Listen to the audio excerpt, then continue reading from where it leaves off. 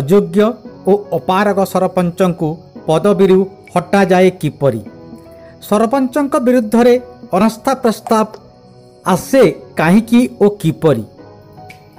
ନିର୍ବାଚନ ସମୟରେ ବହୁ ଆଶା ଓ ଅଭିଳାଷ ନେଇ ଭୋଟରମାନେ ନିଜ ମନପସନ୍ଦର ପ୍ରାର୍ଥୀଙ୍କୁ ସରପଞ୍ଚ ରୂପେ ନିର୍ବାଚିତ କରିଥାନ୍ତି କିନ୍ତୁ ପରବର୍ତ୍ତୀ କାଳରେ ଯଦି ସେହି ନିର୍ବାଚିତ ସରପଞ୍ଚ ଅଯୋଗ୍ୟ ଓ ଅପାରଗ ବୋଲି ବିବେଚିତ ହୁଅନ୍ତି ତାହେଲେ ଜନସାଧାରଣ ପାଇଁ ଏହା ଏକ ବିରାଟ ସମସ୍ୟା ହୋଇଯାଏ ପଞ୍ଚାୟତବାସୀଙ୍କ ଆଶା ଓ ଆକାଂକ୍ଷାର ତୋରୁ ମଉଳିଯାଏ ମନର ସକଳ ଉତ୍ସାହ ଭାଙ୍ଗିଯାଏ ଏପରି ସ୍ଥଳେ ମନରେ ଗୋଟିଏ ପ୍ରଶ୍ନ ଉଠେ ସେହି ଅଯୋଗ୍ୟ ଓ ଅପାରକ ସରପଞ୍ଚଙ୍କୁ କ୍ଷମତାଚ୍ୟୁତ କରାଯାଇପାରିବ କି ହଁ ଏହା ସମ୍ଭବ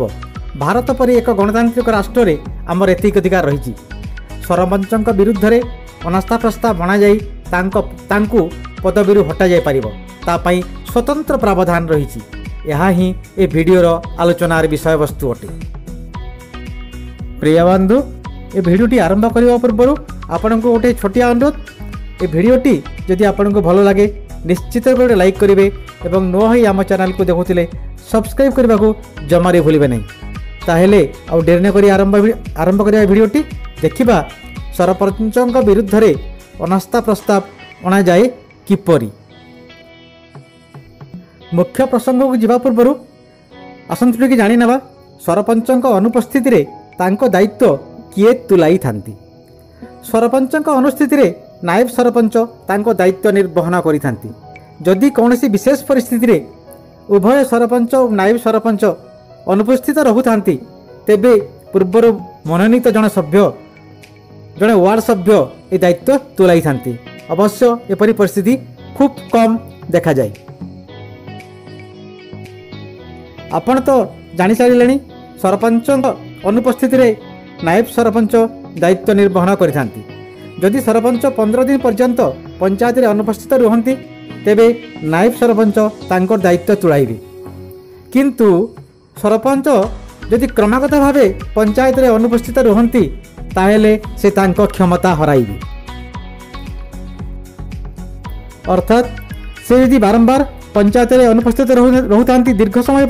ताहले से क्षमता हर एतद्यतीत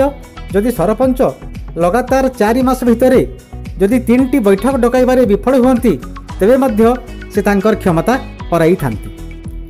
ओडा ग्राम panchayat act 1964 chapter four clause number twenty nine twenty ୱାନ୍ରେ ଏ ସମ୍ବନ୍ଧରେ ସବିଶେଷ ବିବରଣୀ ଉଲ୍ଲେଖ ଅଛି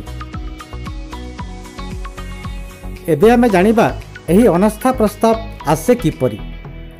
ପ୍ରିୟ ବନ୍ଧୁ ଓଡ଼ିଶା ଗ୍ରାମ panchayat act nineteen sixty four chapter four clause number twenty ଫୋର୍ରେ ଏ ସମ୍ବନ୍ଧରେ ସବିଶେଷ ଉଲ୍ଲେଖ ଅଛି ଏହି ଭିଡ଼ିଓରେ ଆମେ ସଂକ୍ଷେପରେ ସେସବୁ ବିଷୟ ବୁଝାଇ ଦେବାକୁ ଯାଉଛୁ ଯଦି ପଞ୍ଚାୟତର ୱାର୍ଡ଼ ମେମ୍ବରମାନେ ଅନୁଭବ କରନ୍ତି ଯେ ସରପଞ୍ଚ ତାଙ୍କ ଦାୟିତ୍ୱ ତୁଲାଇବାକୁ ଅଯୋଗ୍ୟ ଓ ଅସମର୍ଥ ଅଟନ୍ତି ତେବେ ସେମାନେ ତାଙ୍କ ବିରୁଦ୍ଧରେ ଅନାସ୍ଥା ପ୍ରସ୍ତାବ ଆଗତ କରିପାରିବେ ଏଇଠି ଆପଣ ଗୋଟେ ପ୍ରଶ୍ନ କରିପାରନ୍ତି ଯେ ପଞ୍ଚାୟତର ଜନସାଧାରଣ ଯଦି ଚାହାନ୍ତି ତେବେ ସେମାନେ ଅନାସ୍ଥା ପ୍ରସ୍ତାବ ଆଣିପାରିବେ କି ସେମାନେ ସିଧାସଳଖ ଅନାସ୍ଥା ପ୍ରସ୍ତାବ ଆଣିପାରିବେ ନାହିଁ ସେମାନେ निर्वाचित प्रतिनिधि वार्ड मेम्बर मान जरिया हिंपारि अर्थात वार्ड मेम्बर मैंने जब अनुभव करती जे सरपंच दायित्व तुलाइवा को असमर्थ अटंती विरुद्ध से मैंने अनास्था प्रस्ताव आनीपर एथर देखा एमते प्रथम कौन करवाक हम एमते प्रथम पंचायतर मोट वार्ड मेम्बर अति कम्रे दुई तृतीयांश सभ्य दस्तखत सह ଲିଖିତ ଭାବେ ଉପଜିଲ୍ଲାପାଳଙ୍କ ନିକଟରେ ଏ ସମ୍ବନ୍ଧରେ ଆବେଦନ କରିବେ ଆବେଦନ ପତ୍ରରେ ଅତିକମ୍ରେ ଦୁଇ ତୃତୀୟାଂଶ ସଭ୍ୟ ଅର୍ଥାତ୍ ମୋଟ ୱାର୍ଡ଼ ମେମ୍ବରଙ୍କ ଦୁଇ ତୃତୀୟାଂଶ ସଭ୍ୟଙ୍କ ଦସ୍ତଖତ ରହିବା ଉଚିତ ତାପରେ ଉକ୍ତ ଉପରୋକ୍ତ ଅଭିଯୋଗକୁ ଆଧାର କରି ଉପଜିଲ୍ଲାପାଳ ୱାର୍ଡ଼ ମେମ୍ବରମାନଙ୍କ ଭୋଟ୍ ଗ୍ରହଣ ନିମନ୍ତେ ଗୋଟିଏ ଦିନ ଧାର୍ଯ୍ୟ କରିବେ ଏବଂ ଏହି ଧାର୍ଯ୍ୟ ଦିନର ପନ୍ଦର ଦିନ ପୂର୍ବରୁ ଏହି ନୋଟିସ୍ ଜାରି କରିବେ ଅତି କମ୍ରେ ପନ୍ଦର ଦିନ ପୂର୍ବରୁ ଉପଜିଲ୍ଲାପାଲ ଏହି ନୋଟିସ୍ ଜାରି କରିବେ ନିର୍ଦ୍ଧାରିତ ଦିନ ପଞ୍ଚାୟତରେ ମୋଟ ୱାର୍ଡ଼ ମେମ୍ବରଙ୍କ ମଧ୍ୟରୁ ଅତି କମ୍ରେ ଦୁଇ ତୃତୀୟାଂଶ ସଭ୍ୟ ପଞ୍ଚାୟତରେ ଉପସ୍ଥିତ ରହିବେ ନଚେତ୍ ଏହା ବାତିଲ ହୋଇଯିବ ନିର୍ଦ୍ଧାରିତ ଦିନ ଉକ୍ତ ପ୍ରସ୍ତାବ ଉପରେ ପ୍ରଥମେ ଆଲୋଚନା ପରେ ଉପସ୍ଥିତ ସମସ୍ତ ସଭ୍ୟଙ୍କ ଭୋଟ୍ ଗ୍ରହଣ କରାଯିବ ଯଦି ପଞ୍ଚାୟତର ମୋଟ ୱାର୍ଡ଼ ମେମ୍ବରଙ୍କ ଦୁଇ ତୃତୀୟାଂଶ ସଭ୍ୟ ଏ ପ୍ରସ୍ତାବ ସପକ୍ଷରେ ମତଦାନ କରନ୍ତି ତେବେ ଏ ପ୍ରସ୍ତାବଟି ପାରିତ ହୋଇଯିବ ଏବଂ ସରପଞ୍ଚ ତାଙ୍କ କ୍ଷମତାରୁ ଅନ୍ତର ହୋଇଯିବେ ଅର୍ଥାତ୍ ଆଉ ଏ ପଦବୀରେ ରହିପାରିବେ ନାହିଁ ପ୍ରିୟ ବନ୍ଧୁ ଜଣେ ଅପାରଗ ଏବଂ ଅଯୋଗ୍ୟ ସରକାର ସରପଞ୍ଚଙ୍କୁ କିପରି କ୍ଷମତାରୁ ହଟାଯାଇ ପାରିବ ତ ଆପଣ ଜାଣିଲେ